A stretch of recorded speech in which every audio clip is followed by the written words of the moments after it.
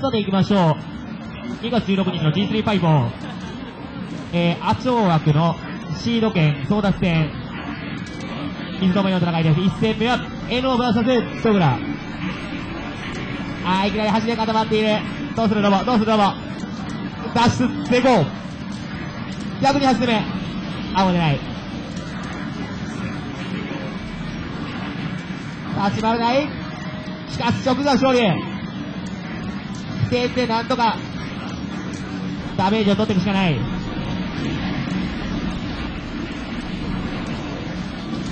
あー、面白い動き。しかし、これを6匹に落とす。あ、固まってる、固まってる。抜けれない、抜けれない。バースは青。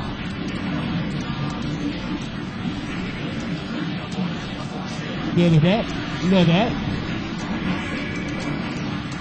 最後は、立ち這い投げ暴れを読み切ったのが、空中バックダッシュハイスラーはじけ。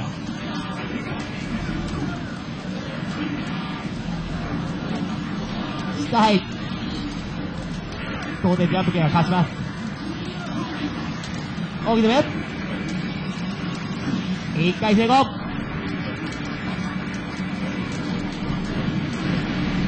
端に寄せたいが、周回移動拒否。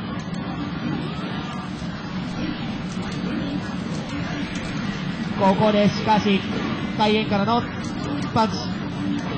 足払いが口足払い投げ、そしてラスト KS ハイバレー。ETJ。ロペ呼びがった。そして、電力食べる。これは美味しい展開。押し切りたい。繋がらないなんとか絵の命拾い。そして、ここから、斜めに行く。チャベスカウンター。しかし、サイクは使わない。ゲートアングル。勝利を二人。バーストを使っていく。ダウンバースト。止めない。止める。ジャンプス。ケース現在。さあ、このドット勝負。どうすんの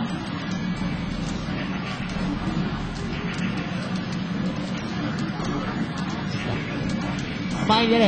絵の前に出る。一旦離す。ダメートロマン、そして、勝利割り込み勝ったのはトグラ、まず2位